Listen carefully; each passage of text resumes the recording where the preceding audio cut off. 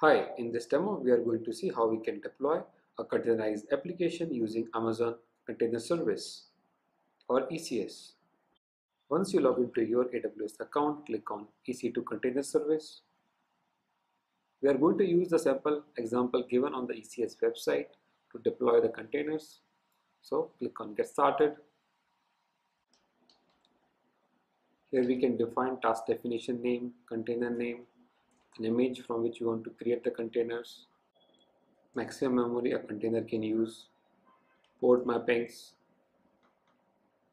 an advanced option we can define more advanced configuration like CPU units,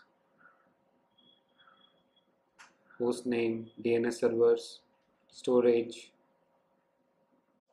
security and so on.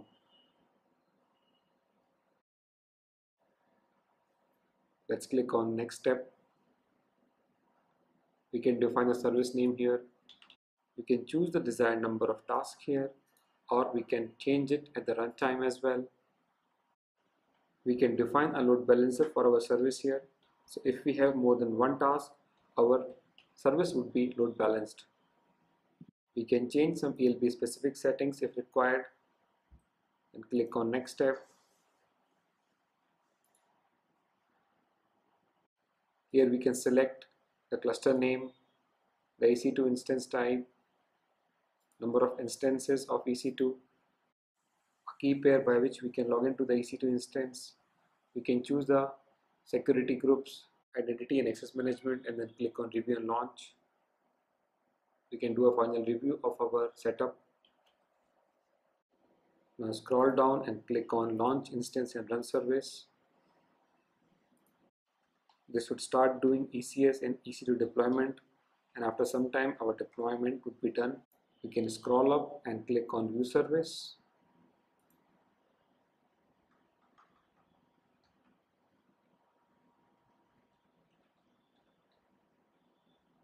Our service is now in active state and running on default cluster.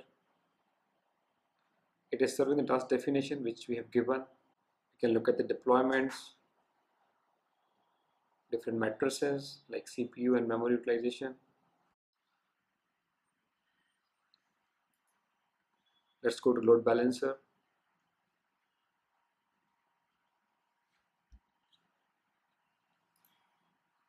And then open the load balancer URL on the browser.